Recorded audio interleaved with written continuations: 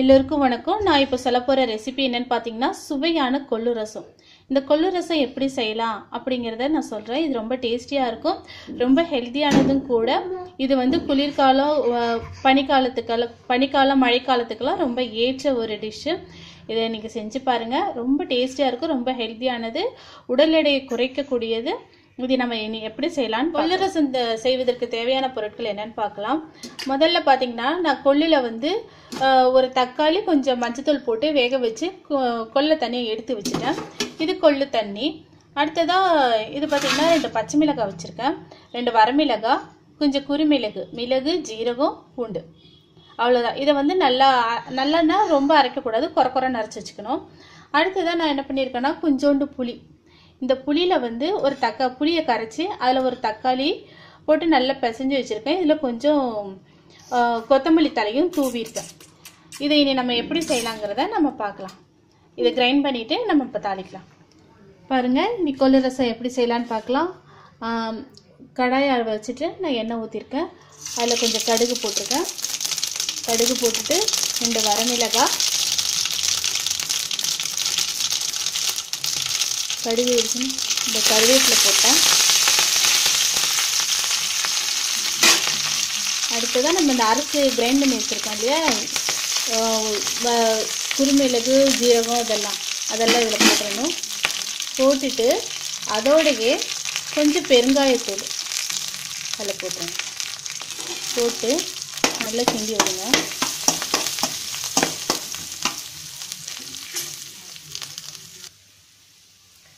கிண்டி விட்டுட்டு கொஞ்சோண்டு மஞ்சத்தூள் போடும் அவ்வளோதான்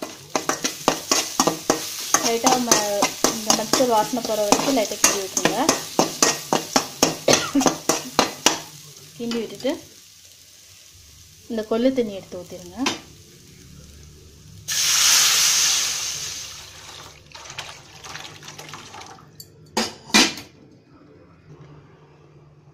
அதோட இந்த புளி தண்ணியும் ஊற்றிடுங்க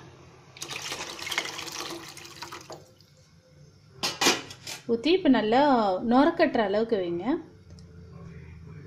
இதோட தேவையான அளவு கொஞ்சம் எனக்கு காடாக தானே இருக்கும். கொஞ்சம் தேவையான அளவு கொஞ்சம் தண்ணி ஊற்றிருக்கேன் ரசம் தானே வைக்கிறோம். அப்போ கொஞ்சம் தண்ணி ஊற்றிருக்கேன் ஊற்றிருக்கேன் ஊற்றிட்டு நம்ம அப்புறம் சால்ட்டு சேர்த்துக்குங்க. இதில் நான் சால்ட்டு சொல்லவே இல்லை இன்னும். சால்ட்டு சேர்த்துங்க.